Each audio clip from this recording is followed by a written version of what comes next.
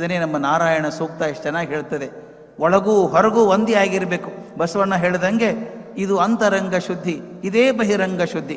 ಅಂತರಂಗ ಬಹಿರಂಗ ಶುದ್ಧಿ ಆದಾಗ ಮಾತ್ರ ಅರಿವು ಪೂರ್ತಿ ಮನಸ್ಸಲ್ಲಿ ಇಳ್ಕೊಂಡಿದೆ ಅಂತ ಅರ್ಥ.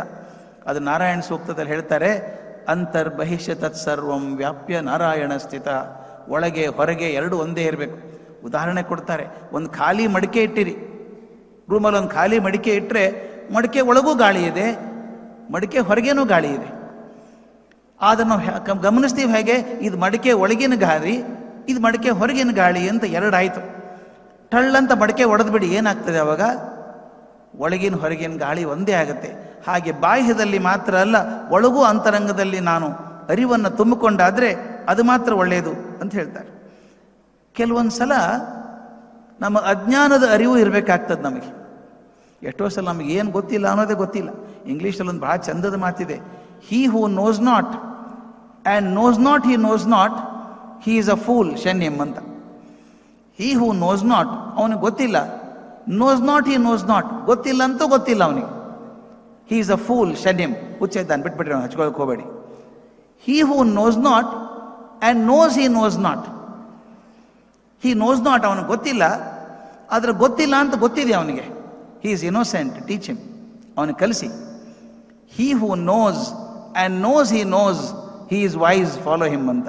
ಯಾರಿಗೆ ಗೊತ್ತಿದೆಯೋ, ಗೊತ್ತಿದೆ ಅಂತ ಗೊತ್ತಿದೆಯೋ, ಅಂಥ ಬುದ್ಧವಂತ ಅವನ ಹಿಂದೆ ಹೋಗಿ ನೀವು ಅಂತ. ಎಷ್ಟು ಚಂದದ ಮಾತು. ಕೆಲವೊಂದು ಸಲ ನಮ್ಮ ಜೀವನದಲ್ಲಿ ಘಟನೆಗಳಾಗ್ತಾವೆ, ತಮಾಷೆ ಘಟನೆಗಳು ಟಕ್ ಅಂತ ಒಂದು ಅರಿವನ್ನು ಕೊಡ್ತವೆ. ತಾತ್ಪೂರ್ತಿಕ ಅರಿವು ಆದರೂ ಕೂಡ ಅಡ್ಡಿ ಇಲ್ಲ, ಸ್ವಲ್ಪ ಪ್ರಯೋಜನಕ್ಕೆ ಬರ್ತದೆ. ನನಗೆ ಆದಂಥ ಘಟನೆ ಇದು. ಸುಮಾರು ಇಪ್ಪತ್ತೈದು ವರ್ಷದಿಂದ, ಮೂವತ್ತು ವರ್ಷದಿಂದ, ಎರಡು- ಮೂರು ದಶಕದಿಂದ. ನಾನು ಬಸವೇಶ್ವರ ನಗರಕ್ಕೆ ಹೋಗ್ಬೇಕು ಹೆಬ್ಬಾಳದಿಂದ, ಮೇಕ್ರಿ ಸರ್ಕಲ್ನಿಂದ ತಿರ್ಕೊಂಡು ಇಂಡಿಯನ್ ಇನ್ಸ್ಟಿಟ್ಯೂಟ್ ಆಫ್ ಸೈನ್ಸ್ ಮುಂದೆ ಯಶವಂತಪುರ ಮೇಲೆ ಬರಬೇಕು. ನನ್ನ ಮಗ ನಾಲ್ಕನೇ ಕ್ಲಾಸ್ ಏನೋ ಇದ್ದಾವಾಗ, ಈ ಶಾಲೆಯಲ್ಲಿ ಪ್ರಾಜೆಕ್ಟ್ ವರ್ಕ್ ಕೊಡ್ತಾರಲ್ಲ, ಗೊತ್ತಲ್ಲ ಪ್ರಾಜೆಕ್ಟ್ ವರ್ಕ್ ಅಂದರೆ? ಅಪ್ಪ ಅಮ್ಮನ ವರ್ಕ್ ಅದು ಅಂತಿರ್ತದೆ ಎಲ್ಲ ಮಾಡಿ ಚೆಂದಾಗಿ ಬಾಕ್ಸ್ ಎಲ್ಲ ಮಾಡಿ ಕೊಟ್ಟಿದ್ದೆ ಅದನ್ನು ಅದನ್ನು ತೊಗೊಂಡು ಹೊರಟ ಅವನು.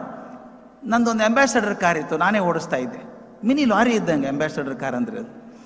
ಮುಂದೆ ನಾನು ಕೂತಿದ್ದೀನಿ, ಹಿಂದೆ ಅವನು ಪ್ರಾಜೆಕ್ಟ್ ಇಟ್ಕೊಂಡು ಹಿಂದೆ ಕೂತಿದ್ದ ಹುಡುಗ. ಆ ಮೇಕರ್ ಸರ್ಕಲ್ ದಾಟಿ ಮುಂದೆ ಅವನ ಶಾಲೆ, ಅವನು ಇಳ್ಕೊಂಡ. ಮಕ್ಕಳ ಪರಿಸ್ಥಿತಿ ಬಹಳ ಕಷ್ಟ ಈಗ. ಹೆಗಲಿಗೆ ಒಂದು ಚೀಲ ಈಗ ವಾಟರ್ ಬಾಟ್ಲು ಟಿಫಿನ್ ಕ್ಯಾರಿಯರು ಈ ಪ್ರಾಜೆಕ್ಟ್ ಬಾರಿ ಹಿಡ್ಕೋಬೇಕು ಅವನು.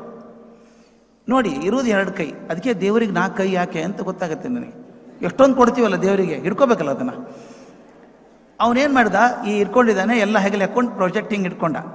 ಇನ್ನು ಬಾಗಿಲು ಹಾಕೋದು ಹೆಂಗೆ? ಇಳಿದಿದ್ದಾನಲ್ಲ ಕಾರಿಂದ ಹಿಂಗೆ ಭುಜದಿಂದ ಹೆಂಗೆ ತಳ್ಳಿದ. ಸಣ್ಣ ಹುಡುಗ, ಈ ಅಂಬಾಸಿಡರ್ ಕಾರ್ ಹೆಂಗೆ ತಕ್ಷಣ ಲಾಕ್ ಆಗೋದಿಲ್ಲ ಇಟ್ ಟೇಕ್ಸ್ ಟೈಮ್ ಹಿಂಗೆ ಮಾಡಿದಾಗ ಆಗಿದೆ ಅಂತ ಹೊರಟ. ನಾನು ಹೊರಟು ಬಿಟ್ಟೆ ಮುಂದೆ. ಜೋರಾಗಿ ಹೋಗಿ ಆ ಇಂಡಿಯನ್ ಸ್ಟೂಡ್ ಆಫ್ ಸೈನ್ಸ್ ಮಂದಿ ಒಂದು ಸರ್ಕಲ್ ಇತ್ತು ಅವಾಗ. ಈಗೆಲ್ಲ ಸರ್ಕಲ್ ಹೋಗ್ಬಿಟ್ಟಿದ್ದಾವೆ ಆ ಸರ್ಕಲ್ ಮುಂದೆ ಸುಯಿ ಅಂತ ಟರ್ನ್ ಮಾಡ್ಕೊಂಡು ಸೀದಾ ಯಶವಂತ ಕಡೆ ಹೋಗ್ತಾ ಇದ್ದೀನಿ. ತಮಾಷೆ ಆಯ್ತು ಅವಾಗ. ನ ರೋಡಲ್ಲಿ ಜನ ಇಲ್ಲ. ಬೆಳಿಗ್ಗೆ ಏಳುವರೆಗೆ. ಜಾಸ್ತಿ ಜನ ಇಲ್ಲ. ಬೆಂಗಳೂರು ಎಷ್ಟು ಗದ್ದಲಾನು ಇರಲಿಲ್ಲ ಮೂವತ್ತು ದಶಕ, ಹಿಂದೆ ಮೂರು ದಶಕದ ಹಿಂದೆ. ಹೋಗ್ತಿರ್ಬೇಕಾದ್ರೆ ಹಿಂದೊಂದು ಮಾರುತಿ ಕಾರ್ ಕಾಣಿಸ್ತು, ರೆಡ್ ಮಾರುತಿ ಕಾರ್. ನನ್ನ ರೇರ್ ಮಿರರ್ದಲ್ಲಿ ಕಾಣಿಸ್ತಾ ಇತ್ತು. ಅವನು ಹುಡುಗ ಓಡಿಸ್ತಾ ಇದ್ದಾನೆ ಅಂತ. ಅವನೇನು ಮಾಡಿದೆ ಗೊತ್ತಾ? ಓ, ಒಂದು ಹಾರ್ನ್ ಬಾರಿಸ್ತಾನೆ ಲೈಟ್ ಹಾಕ್ತಾನೆ ಆಫ್ ಮಾಡ್ತಾನೆ ಲೈಟ್ ಹಾಕ್ತಾನೆ ಆಫ್ ಮಾಡ್ತಾನೆ. ಅಂದ್ರೆ ನನ್ನ ಅಟೆನ್ಷನ್ ಎಳಿಬೇಕು ಅಂತ ಮಾಡ್ತಿದ್ದಾನು ಅವನು. ನನಗೆ ಬೇಕು ಹೋಗ್ತಿದ್ರು, ಹೋಗೋ ಮಾರಾಯ ನೀ ಮುಂದೆ ಅಂತ ಕೈ ಮಾಡಿದೆ.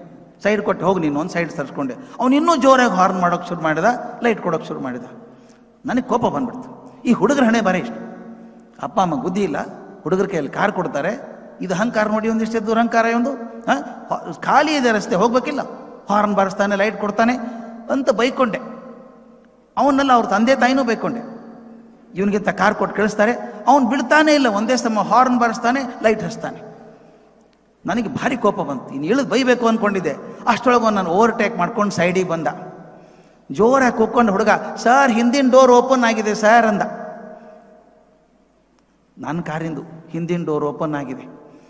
ಅಂಬಾಸಡರ್ ಕಾರ್ ಡೋರ್ ಓಪನ್ ಆಗಿ ಹೋದ್ರೆ ರೋಡ್ ತುಂಬ ಹೋಗುತ್ತೆ ಅದು. ನನಗೆ ಎಂಥ ನಾಚಿಕೆ ಆಗ್ಬಿಡ್ತು ಅಂದರೆ ಕಾರ್ ನಿಲ್ಸ ನೀವು ನಿಲ್ಲಿಸಪ್ಪ ಪುಣ್ಯ ಅಂತ ಹೇಳಿ ನಿಲ್ಸಿದ ಅವನು ಯಾರಿಗಾದ್ರೂ ಹೊಡೆದಿದ್ರೆ ಏನು ಗತಿ ಹೇಳಿ? ಇಡೀ ಬಾಗಿಲು ತಕ್ಕೊಂಡು ಹಾಗೆ ಹೊಡ್ತಾ ಇದ್ದೀನಿ. ನಂದು ರೆಕ್ಲೆಸ್ ಡ್ರೈವಿಂಗ್ ಅವನದಲ್ಲ. ನನ್ನ ರೆಕ್ಲೆಸ್ ಡ್ರೈವಿಂಗ್ ಅದು ನೋಡೇ ಇಲ್ಲ, ನಾನು ಬಾಗಿಲು ತೆಗೆದದ್ದು. ನಿಲ್ಲಿಸಿದ ಹುಡುಗ ಬಂದು ಅವ್ನು ಕ್ಷಮೆ ಕೇಳ್ಕೊಂಡೆ ಸಾರಿ ಮಾರಾಯ, ನೀನು ಬೈಕೊಂಡ್ಬಿಟ್ಟಿದ್ದೆ ನಾನು ಅಂತ. ಇಲ್ಲ ಸರ್ ನೀವು ಸರ್ಕಲ್ ಹತ್ರ ತಿರುಗಿದ ತಕ್ಷಣ ಬಾಗಿಲು ಓಪನ್ ಆಗಿಬಿಡ್ತದು, ನೀವು ನೋಡೇ ಇಲ್ಲ. ಯಾರಿಗಾದ್ರೂ ಬಡದ್ರೆ ಕಷ್ಟ ಅಲ್ವಾ ಸರ್ ಅಂದ. ಒಂದೇ ಸಲ ಅರಿವಾಗಲಿಲ್ವ ಅವಾಗ? ಅವನು ಬೈತಾ ಇದ್ದೆ, ನಾನು ಬುದ್ಧಿ ಇಲ್ಲ ಅವನಿಗೆ, ಅವ್ರ ಅಪ್ಪನಿಗೆ ಬುದ್ಧಿ ಇಲ್ಲ ಅಂತ ಇದ್ದೆ. ಬುದ್ಧಿ ಇಲ್ಲದೆ ಇದ್ದದ್ದು ನನಗೆ ಅಂತ ಗೊತ್ತಾಯ್ತು. ಕಾರ್ ಬಾಗಿಲು ತಕ್ಕೊಂಡು ಓಡಿಸ್ತಾ ಇದ್ದೀನಲ್ಲ ನಾನು. ಆ ಕ್ಷಣದಲ್ಲಿ ಆ ಕ್ಷಣದಲ್ಲಿ ಅನಿಸ್ತು ವಿಚಾರ ಮಾಡಲಾರ್ದೆ ಜನಕ್ಕೆ ಬೈತೀವಲ್ಲ ಇದೆಂಥ ತಪ್ಪು ಅಂತ ಅನಿಸ್ಲಿಲ್ಲ. ಆ ಕ್ಷಣದ ಅರಿವು ಕೂಡ ಒಂದ್ಸಲ ಬೆರಗನ್ನು ಹುಡ್ಸುತ್ತೆ. ನಮ್ಮ ಅಜ್ಞಾನದ ಅರಿವದು ನನ್ನ ಕಡೆ ತಪ್ಪಿದೆ ಅಂತ ಗೊತ್ತಿಲ್ಲದೆ ಇನ್ನೊಂದು ಕಡೆ ತಪ್ಪು ಹುಡ್ಕೋಕೆ ಹೋಗ್ತೇನಲ್ಲ, ಅದು ಅರಿವಾಗುವಂಥದ್ದು. ಕೆಲವೊಂದ್ಸಲ ಅಜ್ಞಾನದಿಂದ ದೊಡ್ಡ ಕ್ವಾಂಟಮ್ ಜಮ್ ಎತ್ತರಕ್ಕೆ ಹೋಗ್ಬಿಡುತ್ತೆ ಮನುಷ್ಯ. ತುಳಸಿದಾಸರದ ಆದದ್ದು ಹಾಗೇನೆ. ತುಳಸಿದಾಸರು ಮದುವೆ ಆಗಿದ್ದಾರೆ. ಹೊಸದಾಗಿ ಮದುವೆ ಆದವರು. ಹೆಂಡತಿ ತಾಯಿ ಮನೆಗೆ ಬಂದಿದ್ದಾಳೆ. ತುಳಸಿದಾಸರು ಆ ಕಡೆ ಇದ್ದಾರೆ. ನದಿ ಬೋರ್ಗರ ಹರಿತಾ ಇದೆ ಮಳೆಗಾಲದಲ್ಲಿ. ಹೆಂಡತಿ ಕಡೆ ಹೋಗಬೇಕು ಅಂತ ಬಂದ್ಬಿಟ್ರು. ಏನೂ ಕಾಣಿಸ್ತಿಲ್ಲ, ಎಲ್ಲ ಬಿಟ್ಟರು ನದಿ ಈಸ್ಕೊಂಡು ಬಂದರು. ಅದು ಹೆಂಗೆ ಬೋರ್ಗರೆ ನದಿಯಲ್ಲಿ ಈಸಿದ್ರು? ಈಸ್ಕೊಂಡು ಈ ಕಡೆ ಬಂದರು. ಹೆಂಡತಿ ಅಟ್ಟದ ಮೇಲೆ ಇದ್ದಾಳೆ. ಮಾವು ನೆಬ್ಸೋಂಗಿಲ್ಲ, ಎಬ್ಸೋದು ಬೇಡ. ಏನು ಮಾಡಬೇಕು? ಮ್ಯಾಲೆ ಹತ್ತಬೇಕು ನೋಡೋದು ಯಾವುದೋ ಒಂದು ಹಗ್ಗ ಜೋತ್ ಬಿದ್ದಿತ್ತು. ಹಗ್ಗ ಹಿಡ್ಕೊಂಡು ಹತ್ತಿಬಿಟ್ರು. ಹತ್ತಿ ಮ್ಯಾಲೆ ಹೋದಾಗ ಹೆಂಡತಿ ಹತ್ತಾಳೆ ಹೆಂಗೆ ಬಂದ್ರಿ? ನದಿ ಭಾರಿ ಮಹಾಪೂರ ಇದೆಯಲ್ಲ ಅಂತ. ಅದೇನು ಗೊತ್ತಾಗಲಿಲ್ಲ ನನಗೆ, ನೀನು ನೆನಪಾಯ್ತು ಬಂದ್ಬಿಟ್ಟೆ ಅಂದರು. ಮೇಲೆ ಹೆಂಗೆ ಬಂದ್ರಿ? ಹಗ್ಗ ಕಟ್ಟಿದ್ರು. ಹಗ್ಗ ಇಲ್ಲ ನೋಡಿದ್ರೆ ಹಾವದು. ಅಂದರೆ ಆ ಹೆಂಡತಿ ನೋಡಬೇಕು ಅಂತ ಆ ಆ ನದಿ ಭರಾಟೆ ಕಾಣಿಸಿಲ್ಲ, ಹಾವು ಕಾಣಿಸಿಲ್ಲ. ಆಕೆ ಹೆಂಡತಿ ಒಂದೇ ಮಾತು ಹೇಳಿದ್ಲು, ನನ್ನಲ್ಲಿ ತೋರಿಸುವಂಥ ಪ್ರೀತಿ ನಾನು ಈ ಭಗವಂತನಲ್ಲಿ ತೋರಿಸಿದ್ರೆ ದೊಡ್ಡ ಸಂತ ಆಗಿಬಿಡ್ತಿದ್ದೆಪ್ಪ ಅಂದ್ಲು. ಆ ಕ್ಷಣಕ್ಕೆ ಬಿಟ್ಟರು ಆ ಕ್ಷಣಕ್ಕೆ ಎಲ್ಲ ಬಿಟ್ಟು ಆ ತುಳಸಿದಾಸರ ಜೀವನ ತುಂಬ ರಾಮಾನಿ ಆಯಿತು. ರಾಮಚರಿತ್ ಮಾನಸ್ ಬಂತು. ಇಡೀ ಜೀವನನೇ ರಾಮನ ಚರಿತ್ರೆ ಮಾಡೋದ್ರಲ್ಲಿ ನಿರ್ಮಾಣ ಆಯಿತು. ಒಬ್ಬ ಸಂತ ಆಗೋದ ಒಂದು ಘಳಿಗೆಗೆ ಬಂದಂಥ ಅರಿವು. ಆ ಅರಿವು ನಮಗೆ ಬೆರಗನ್ನು ಹುಡ್ಸುತ್ತೆ. ಅಂಥ ಬೆರಗು ಬರೋದು ಯಾವಾಗ? ನಮ್ಮ ಅಜ್ಞಾನವನ್ನು ಕಂಡಾಗ.